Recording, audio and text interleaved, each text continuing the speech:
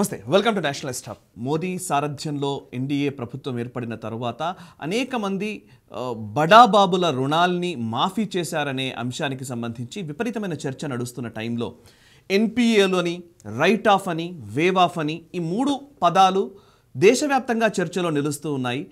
వీటిని అసలు ఎట్లా అర్థం చేసుకోవాలి? తెలుసుకునే ప్రయత్నం చేద్దాం. అయితే ఎన్పిఏల గురించి రైట్ ఆఫ్ గురించి వేవ్ ఆఫ్ గురించి ఉన్న ప్రచారానికి భిన్నంగా భారతీయ జనతా పార్టీ అధికార ప్రతినిధి కిషోర్ పోరెడ్డి ఆ, ఒక కొత్త అనాలజీని మన ముందుంచే ప్రయత్నం చేస్తూ ఉన్నారు అదేంటో కనుక్కునే ప్రయత్నం చేద్దాం.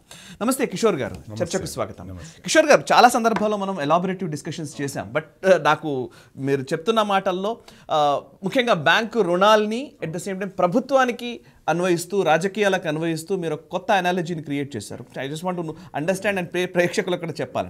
బేసికలీ ఎన్పిఏ అంటే మీ ఉద్దేశంలో లేదా రైట్ ఆఫ్ అంటే వేవ్ ఆఫ్ అంటే ఈ మూడింటిని ఎట్లా అర్థం చేసుకోవాలి? ఒకసారి చెప్తారా? ఎన్పిఏ అన్నాం అనుకోండి. దాన్ని ఫుల్ ఫామ్ ఏంటంటే non performing asset correct asset అంటే ఆస్తి.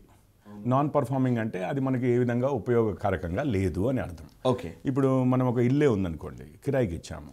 కిరాయి ఇస్తున్నంతసేపు మనకు ఉపయోగపడుతున్నట్టు నెలకు వెయ్యో రెండు వేలో వస్తున్నంతసేపు అదే వాడు ఇవ్వడం బంద్ చేశాడు అనుకోండి అందులో ఉంటున్నాడు గత ఆరు నెలలు సంవత్సరం నుంచి కూడా మనకు కిరాయి మాత్రం రావట్లేదు అనుకోండి. ఇప్పుడు ఆ ఆస్తి ఏదైతే ఉందో ఆ గృహం ఏదైతే ఉందో అది ఇప్పుడు మనకు ఉపయోగపడని ఆస్తిగా అంటే నాన్ పర్ఫార్మింగ్గా తయారైందనమాట. ఓకే సో ఇప్పుడు లోన్స్లో ఏంటంటే మనము లోన్ ఇచ్చాము ఒక లక్ష రూపాయలు.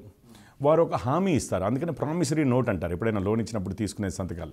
వారు అవతల వారు తీసుకున్న వారు ఏం ప్రామిస్ చేస్తారంటే మనకు? హామీ ఏమి ఇస్తారంటే నెల నెల ఇంత వడ్డీ కడతానండి. అసలు ఇప్పటికల్లా తీరుస్తానండి అని అంటారు. సో ఇప్పుడు ఆ నెల నెల కడుతూనే ఉన్నంతసేపు అది పర్ఫార్మింగ్ అసెట్ అయింది. ఆ లక్ష రూపాయలు మనం ఏదైతే ఇచ్చామో అది ఆస్తి. అదే వారు కట్టడం బంద్ చేశారు అనుకోండి ఒక నాలుగు రోజులు లేట్ అయింది వారం రోజులు లేట్ అయింది ఒక్కోసారి ఏదో కష్టాల వల్ల అది ఓకే. కానీ ఒక ఆరు నెలలు సంవత్సరము కట్టకుండా ఇదవుతుంది అనుకోండి అప్పుడు ఆ లక్ష రూపాయలు మీవి ఏమైంది అంటే అది నాన్ పర్ఫార్మింగ్ అసెట్ అయింది ఇప్పుడు అంటే మనకు ఆస్తి ఉంది కానీ అది మనకు ఉపయోగకారకంగా లేదు. ఇప్పుడు మన రాష్ట్ర క్యాబినెట్ ఉందండి. మీరు ఏ ట్రిపుల్ ఐటీ బాసరా స్టూడెంట్నైనా కానీ సోషల్ వెల్ఫేర్ హాస్టల్లో పిల్లలనైనా కానీ ఏదైతే పురుగులు వస్తున్నాయో భోజనాల్లో వాళ్ళని ఎవరినైనా అడగండి. వారు ఒకటే మాట చెప్తారు. ఎడ్యుకేషన్ మినిస్టర్ ఉన్నారు ఫైనాన్స్ మినిస్టర్ ఉన్నారు హెల్త్ మినిస్టర్ ఉన్నారు కానీ ముగ్గురు నాన్ పర్ఫార్మింగ్ అసెట్ అయిపోయారు అని. అంటే మాకు ఏ విధంగా కూడా ఉపయోగకారకంగా లేదు అని చెప్పి. ఈ నాన్ పర్ఫార్మింగ్ అసెట్స్ ఎప్పటికీ నాన్ పర్ఫార్మింగ్ ఏ ఉంటాయి అంటే అట్లా ఏమీ సిచ్యువేషన్ లేదు. మనం లీగల్గా కానీ ఇప్పుడు ఏం చేస్తామనంటే వాడు అసలు కట్టనే కట్టట్లేరు అనుకోండి. మనం కోర్టుకి వెళ్తాము వాడిని బయటికి గెంటించే పని చేస్తాము. మళ్ళీ వేరే వాళ్ళకి కిరాయికి ఇస్తాము ఆ ఇల్లు నుంచి మళ్ళీ కిరాయి వస్తుంది మనకి రైట్ అట్లాగే లోన్ ఉందనుకోండి. మనం కేసు వేస్తాము వాళ్ళు వెంబడి పడతాము అంతకైతే వాళ్ళని బ్యాంక్రప్ట్ చేయించే అంటే బ్యాంక్రప్సీ కోర్టుకు వెళ్ళైనా కానీ వాళ్ళ ఆస్తులని అమ్మిపిచ్చైనా కానీ డబ్బులు వసూలు చేస్తాం. వసూలు చేసి ఒక కంపెనీ అనుకోండి ఆ కంపెనీనే ఇతరులకు అమ్మిపిచ్చైనా కానీ వాళ్ళ ద్వారా తెచ్చుకుంటాం. మన ప్రభుత్వం ఉందనుకోండి మన క్యాబినెట్ ఈరోజు నాన్ పర్ఫార్మింగ్ అసెట్ రేపు మనం ఏం చేస్తాము? ఎలక్షన్లలో ఓడిస్తాము. కొత్త ప్రభుత్వాన్ని తెచ్చుకుంటాము. మనకు ఉపయోగకారకంగా ఉండేటువంటి ఆస్తి కొత్త క్యాబినెట్ని తయారు చేసుకుంటాము. అది non performing asset okay. Non performing assets అంటే నాన్ పర్ఫార్మింగ్ మినిస్టర్సా నాన్ పర్ఫార్మింగ్ టీఆర్ఎస్ అసలు ప్రభుత్వమే నాన్ పర్ఫార్మింగ్ అయిపోయింది. అసలు ఆఫీస్కి రాకుండా ఇంట్లో కూర్చుని ఎన్నో విషయాల్లో అండి. ఇది విద్య వైద్యం ఎన్నో విషయాలు. రైట్ మరి వేవ్ ఆఫ్ ఏంటి? రైట్ ఆఫ్ ఏంటి? సో ఇప్పుడు మీరు పేపర్లలో చదువుతున్నదంతా కూడా ఎప్పుడైతే రైట్ ఆఫ్ జరుగుతున్నాయండి చాలా బ్యాంకులు కూడా రైట్ ఆఫ్ చేస్తున్నాయి. అయితే అది వేవ్ ఆఫ్ చేశారు అని చెప్పి అంటే మోడీ గారు మాఫీ చేశారండి. మాఫీ చేశారు అని అంటున్నారు. మాఫీ చేయలేదు. రైట్ ఆఫ్ అంటే మొండి బాకీలుగా మనము నిర్ధారించాము అని చెప్పి. ఇప్పుడు ఫర్ ఎగ్జాంపుల్ ఏంటి అంటే మనమే ఆ లక్ష రూపాయలే అన్నాం. అది సంవత్సరం నుంచి వాడు కట్టట్లేడు. ఇప్పుడు మనకి అది నాన్ పర్ఫార్మింగ్ అసెట్ అనుకున్నాం. ఓకే. ఇప్పుడు దాన్ని మనము మన లెక్కల్లో మనకు పనికొస్తున్న ఆస్తుల్లో ఆ లక్ష రూపాయలు పెట్టాలా వద్దా? లేకపోతే ఆ ఇల్లు పనికొస్తున్న ఆస్తుల్లో ఉంచాలా? లేదు ఇది ప్రస్తుతానికి పనికి రావడం లేదు చేయబట్టి దీని నుంచి వచ్చే ఆదాయాన్ని మనం రైట్ ఆఫ్ చేసుకున్నట్టే కదా. దాన్ని రైట్ ఆఫ్ అంటారు. అంటే అది రావలసిందే కానీ ప్రస్తుతానికైతే రావట్లేదు.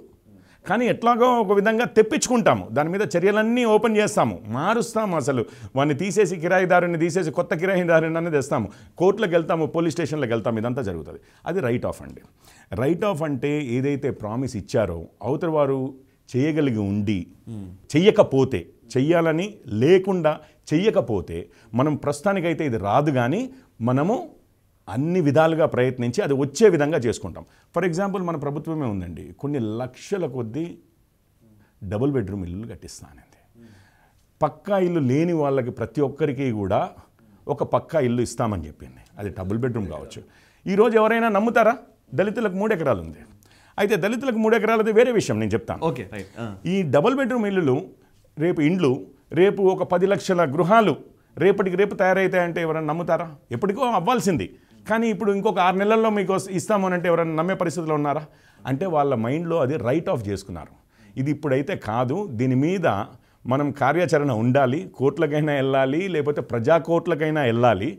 అంతకైతే ఆ ఓనర్లను మార్చైనా కొత్త ఓనర్లను తెప్పించైనా కానీ మన కిరాయి మనం వసూలు చేయాలి మన పక్కా ఇల్లు మనం తెచ్చుకోవాలి అనుకున్నాం అనుకోండి.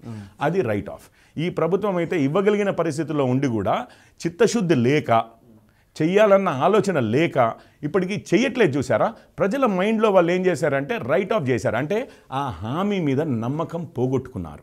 అవతల వాడు ఆ హామీని నిలబెట్టుకునేటట్లు లేడు. కాబట్టి కార్యాచరణ చేసైనా? ఇప్పుడు మోడీ గారి ప్రభుత్వం చేసింది ఆ లోన్స్ మీద రైట్ ఆఫ్ చేసింది. అక్కడి నుంచి మనం కోర్టులకు వెళ్ళే అవకాశాలు ఇట్లాంటివన్నీ మొదలవుతాయి అన్నట్టు అది కేవలం అంత మాత్రమే. వాటి వారి దగ్గర నుంచి వసూలు చేస్తాము. ఈవెన్ కంపెనీ ఓనర్లను మార్చైనా వాళ్ళతోటి అది అమ్మిపించి ఇంకొకరి చేతిలోకి తీసుకెళ్ళి అయినా కొత్త వాళ్ళు క్యాపిటల్ తీసుకొచ్చైనా మన డబ్బులు మనకి ఇవ్వాల్సినవి తెప్పిస్తాం. ఇప్పుడు వీరున్నారు విజయ్ మాల్యానా? విజయ్ మాల్యా. విజయ్ మాల్యా మీద జరుగుతున్నది అదే అండి. Correct. కానీ ప్రస్తుతానికి మాత్రం ఆ ఆస్తులు ఇమీడియట్గా రావట్లేవు చేయబట్టి మనం అది రైట్ ఆఫ్ చేసుకున్నాం. కానీ వారి మీద అన్ని విధాలుగా ప్రయత్నం చేసి వాళ్ళ ఆస్తులనైనా అమ్మిపించైనా కానీ ఆ డబ్బులు అయితే తెచ్చుకుంటాం. అది రైట్ ఆఫ్ రైట్ ఆఫ్ అంటే మనం డబుల్ బెడ్రూమ్ ఇల్లులు అనుకున్నాం. అవి రావని కాదు తెప్పిస్తాం. ప్రభుత్వాలు మార్చైనా తెప్పిస్తాం. ఇప్పుడు వెయివ్ ఆఫ్ అన్నాం అనుకోండి ఒక అప్పు ఇచ్చాం మనం ఇంకా అది రాదు అని డిసైడ్ అయిపోయాం. లేకపోతే ఇక మనకే వద్దు అని అనుకున్నాం. రెండు విధాలుగా కావచ్చు. ఇప్పుడు రాదు అనేది ఏంటి అంటే కేసీఆర్ గారు మన రాష్ట్రానికి మొదటి ముఖ్యమంత్రిని ఒక దళితుని చేస్తా అన్నాడు. కరెక్ట్ ఇప్పుడు ఒక దళితుడు ముఖ్యమంత్రిని ఎవరైనా చేయొచ్చు గాక ఆరు వారే అవ్వచ్చు గాక చెయ్యడం ఏముందండి? వారే అవ్వచ్చు గాక. కానీ మొదటి ముఖ్యమంత్రి అయితే కాలేరు కదా తెలంగాణకి. రెండో ముఖ్యమంత్రి మూడో ముఖ్యమంత్రి నాలుగో ముఖ్యమంత్రి కానీ మొదటి ముఖ్యమంత్రి అయితే కాలేరు. ఇప్పుడు ఆ ఆశని మనం ఏం చేశాము? ఆ హామీని మనం ఏం చేశాము? వేవ్ ఆఫ్ చేశాము. సరే పో ఇంకా అయిపోయింది దీనివల్ల ఇంకేమీ కాదు. మనం ఏం చేసినా కూడా అది అయ్యే పని అయితే కాదు. మొదటి ముఖ్యమంత్రి అయితే దళితుడు కాలేడు మన రాష్ట్రానికి. దాన్ని వేవ్ ఆఫ్ అంటారు. ఇంకొక సిచ్యువేషన్లో వేవ్ ఆఫ్ ఎట్లా చేస్తాము అని అంటే మనకు అవతలోడికి ఇవ్వగలిగే శక్తి ఉన్నా కూడా ఇంకొకటి ఉన్నా కూడా సరేరా నువ్వు ఇది ప్రామిస్ చేశావు ఈ హామీ ఇచ్చావు కానీ నిన్ను బంధ విముక్తుని చేస్తున్నాను. ఈ హామీ నుంచి మాత్రము నిన్ను విముక్తుని చేస్తున్నాను. అని చెప్పి నాకు అవసరం లేదులే. నేను నీకు ఇచ్చింది మళ్ళీ నువ్వు నాకు తిరిగి ఇవ్వాల్సిన అవసరం లేదు లేకపోతే నీ హామీని నువ్వు నిలబెట్టుకోవాల్సిన అవసరం లేదు అని. ఇవి వేవ్ ఆఫ్లు మనం చాలా ప్రభుత్వాలు చాలాసార్లే చేశాయండి. ఇప్పుడు మన రైతులకు రుణమాఫీ చేశాము. మాఫీ చేయడం అన్నమాట. మాఫీ చేసేసాము. అది వేవ్ ఆఫ్ అంటే. ఇక్కడ జరుగుతున్నది వేవ్ ఆఫ్ కాదు. ఇక్కడ జరుగుతున్నది దళిత ముఖ్యమంత్రి ఇంకెట్లాగూ అవ్వడు కదా. ఇక దాన్ని మనం ఎన్ని శత విధాలా ప్రయత్నించినా మొదటి ముఖ్యమంత్రిని అయితే దళితుని అయితే చేయలేము కదా అన్నది కాదు. ఇక్కడ జరుగుతున్నది ఏంటి అంటే రైట్ ఆఫ్ జరుగుతుంది. అంటే ప్రస్తుతానికి ఇవి మొండి బాకీలుగా అయ్యాయి. ప్రస్తుతానికి కేసీఆర్ మాత్రం మనకు డబుల్ బెడ్రూమ్ ఇల్లులు కట్టి ఇచ్చేది లేదు. ఇండ్లు కట్టి ఇచ్చేది లేదు. ఇల్లు లేని వాళ్ళందరికీ డబుల్ బెడ్రూమ్ ఇల్లులు ఇండ్లు అన్నాడు కదా. లేకపోతే గృహానికో ఉద్యోగం అన్నాడు. అంటే ఇంటికో ఉద్యోగం అన్నాడు. లేకపోతే డిస్ట్రిక్ట్కో సూపర్ స్పెషాలిటీ హాస్పిటల్ అన్నాడు. అవన్నీ మనం ఏం చేశామంటే ప్రభుత్వం చేయగలదు కానీ వీడికి చేసే ఉద్దేశం లేదు. ప్రస్తుతానికి మాత్రం ఇవి రావట్లేదు. మనము కొంత పని చేసి అవి తెప్పించుకోవాలి అన్నది ఏదైతుందో వాటిని రైట్ ఆఫ్ అంటారండి. ఇది తేడా. హోప్ఫుల్లీ అందరికీ అర్థమైంది అనుకుంటాను. So NPA right write off waive off ఇవన్నీ టీఆర్ఎస్ గవర్నమెంట్కి మీరు ఆపాదించేశారు అన్నట్టు అంటే పని అంటే అండి. అంటే అంటే నేను నా ఉద్దేశం ఏమీ లేదు. ప్రజలకి క్లియర్గా అర్థమవుతుంది. వాళ్ళకి ఆల్రెడీ తెలిసిన విషయమే విషయంలోనే చెప్తేనే కదా వారికి క్లియర్గా అర్థమయ్యేది. ఇప్పుడైతే ఎన్పిఏ అంటే మనకు పనికిరాని నాన్ పర్ఫార్మింగ్ అసెట్ నిరర్ధకమైనటువంటి ఆస్తి మన క్యాబినెట్ అట్లాంటిది.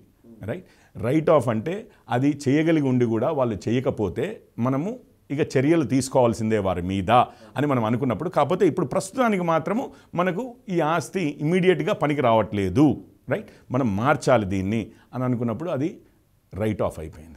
ఇక ఇది అయ్యేదే కాదు. డబుల్ బెడ్రూమ్ ఏమో రైట్ ఆఫ్ అండి. ఇది అయ్యేదే లేదు. ఇంకా మనం ఏం చేసినా సాధించలేము అన్నదేమో వేవ్ ఆఫ్ అదే మన దళిత ముఖ్యమంత్రి promise right sir right sir thank you very much thank you very much me analogy uh, ప్రజలకు ఎంత మేర వెళ్తుంది ప్రజలు ఎలా ఆలోచిస్తారనేది చూద్దాం. Uh, ప్రస్తుతం వారు చెప్తున్న ప్రకారం భారతీయ జనతా పార్టీ చెప్తున్న ప్రకారం అయితే టీఆర్ఎస్ఏ అసలు ఎన్పిఏ నాన్ పర్ఫార్మింగ్ అసెట్ నిరర్ధకమైనటువంటి ఆస్తిగా టీఆర్ఎస్ పార్టీని వీరు ఎన్పిఏలతో పోల్చుతున్న పరిస్థితి భారతీయ జనతా పార్టీ నుంచి చూస్తున్నాం సరే ప్రజలు రైట్ ఆఫ్ చేస్తారా? వేవ్ ఆఫ్ ఇస్తారా? రాబోయే రోజుల్లో ఎటువంటి నిర్ణయం తీసుకుంటారనేది ప్రజలకే వదిలేద్దాం. చూస్తూనే నేషనల్ స్టాప్. మనసా వాచా కర్మణ. కోసం.